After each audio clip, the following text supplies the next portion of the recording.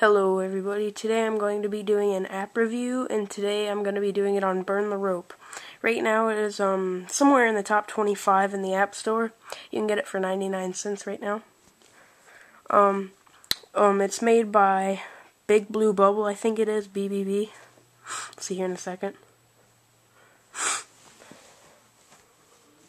Yeah, Big Blue Bubble. Um, what it is, is it's a game where you have to burn the rope which it says that on the title. And um, you have to, well, it's hard to explain, but I'll do it in this. Um, well, first I'm to just do the easiest level. It's just a circle. What you want to do is, um, you can pick, whoops guys, what you're to want to do is, um, you can pick anywhere on the, on the, like you can touch anywhere on the rope. And what that'll do is it will, um, it'll like start to burn and you're gonna have to tilt it. It's you have to use the calibration.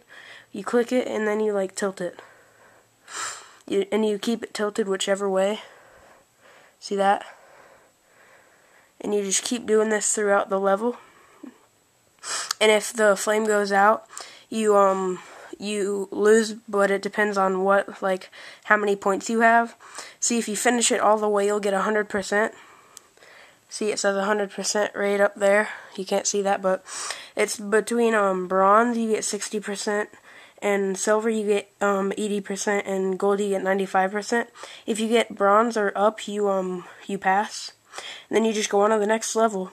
It's really cool. It has cool music, and it's just like gets you excited, and it's addictive too. And that's going to be my short little two minute app review. And thanks for watching, guys. This is uh, Touch That iPod signing off. Bye.